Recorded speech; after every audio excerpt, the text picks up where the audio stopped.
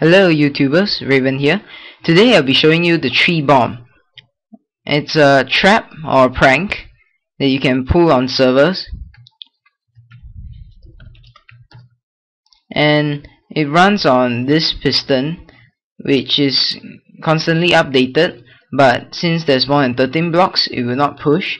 But when some player comes along and chops down either of these wood blocks the TNT will get pushed up thus igniting and all hell breaks loose. So it's quite a fun idea and potentially dangerous trap. And uh, on to the tutorial.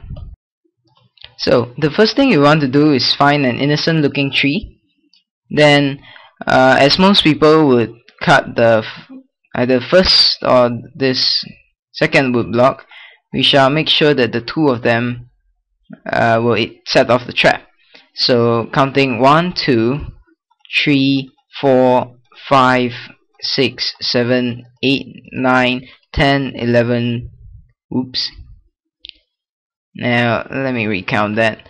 Um, 1 1 2 3 4 5 6 7 8 9 10 11 12 13 uh, let me give us some light down here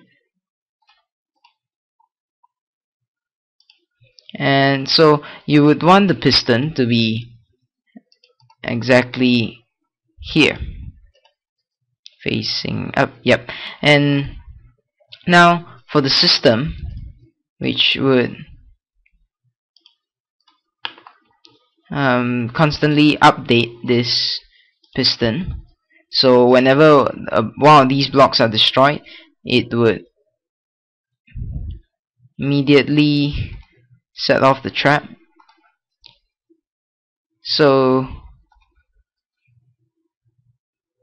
what you would want to do would be using a lever here make sure the torch is off so the trap would not activate beforehand.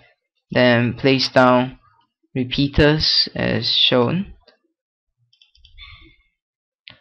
And make a simple clock and then you'd want to dig up here by the side. So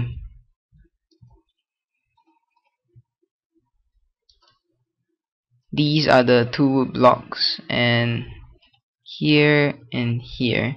So one block underneath the surface you want to place your redstone torch. And fill the TNT up as many as you want.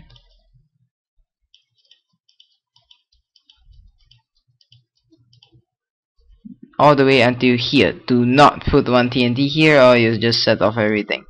So one two three four. And cover it up.